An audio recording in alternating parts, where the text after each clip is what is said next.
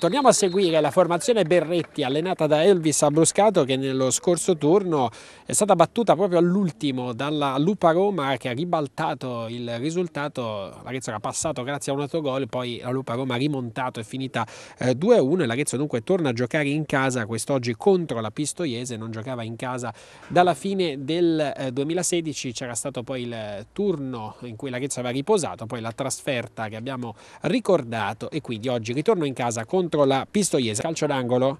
batte Tartaglione, secondo palo e c'è il gol.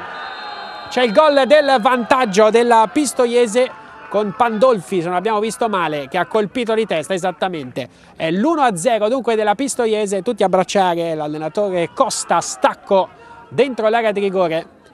prova la sponda Caselli, poi Salvestroni, attenzione che arriva Dacia in aria, Dacia grande serpentina, Dacia col destro, la porta è vuota e, e c'è subito il pareggio di Caselli, immediato pareggio dell'Arezzo, ci ha creduto Dacia su questo pallone. E poi nel proseguimento è arrivato l'assist a porta vuota per Caselli, l'Arezzo ha pareggiato subito,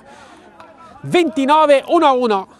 e poi l'Arezzo con Marzicano Marzicano se l'ha allungata. Do ha tentato di rilanciare Gallorini, attenzione Arezzo con un colpo di testa qui di Capogna, manda in porta Metolli, tutto solo, Metolli, Metolli in aria, Metolli finisce a terra e lo invita a rialzarsi l'arbitro, lo invita a rialzarsi l'arbitro, tutta la panchina dell'Arezzo in piedi, che occasione per Metolli, che palla di testa che gli aveva dato Capogna, poi arriva l'arbitro, c'è un giallo per Gallorini per proteste probabilmente. Con l'Elvis Abruscato è una partita un po' scorbutica, diciamo così, eh, c'è stato anche poco spazio no, per vedere qualche giocata, intanto sei contento della prestazione? Dal punto di vista eh, motivazionale che la squadra ha dato, sì, assolutamente sì. Per quello che riguarda il gioco un po' meno, anche perché abbiamo fatto solo mm,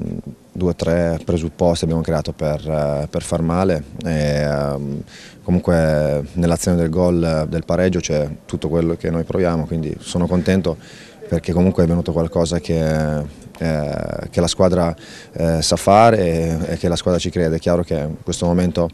i risultati eh, sono, vengono un po' a meno, quindi anche autostima e mh, mm, convinzione nel fare le cose, però eh, tutto sommato sono soddisfatto per l'interpretazione, per aver portato a casa mh, uh,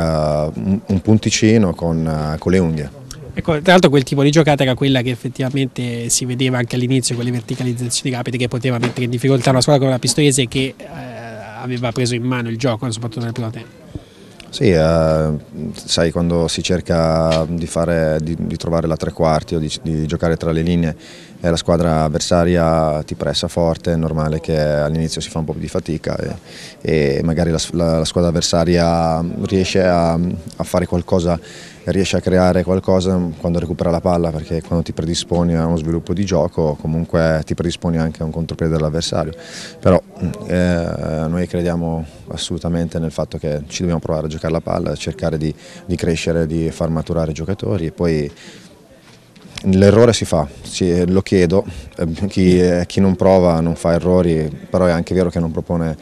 nessun tipo di, eh, di calcio e di emozione. A me piace che i ragazzi ci provano e poi che vedono che ci, nel provarci si, crea, si trova anche la soluzione. In questo momento eh, un po' per mancanza di continuità dei risultati non è facile perché comunque la motivazione, l'autostima è quella che è una componente, è il sentimento, il sangue in questo sport è quello che comunque ti spinge a migliorare la giocata. Infine Metagli ha avuto comunque quell'occasione solo davanti al portiere, c'è stato un contatto su cui la difesa ha protestato, doveva calciare prima oppure quel contatto insomma fa un po', fa un po arrabbiare? No, no, fa arrabbiare no, fa arrabbiare me no, però eh, fa arrabbiare l'attaccante sarà arrabbiato con se stesso, Meto, ma sa benissimo che in quel momento doveva tagliare davanti al difensore e poi aspettare che il difensore facesse un fallo netto oppure che lo lasciasse tirare in porta, però ci sono errori, non ho mai accusato nessuno degli errori.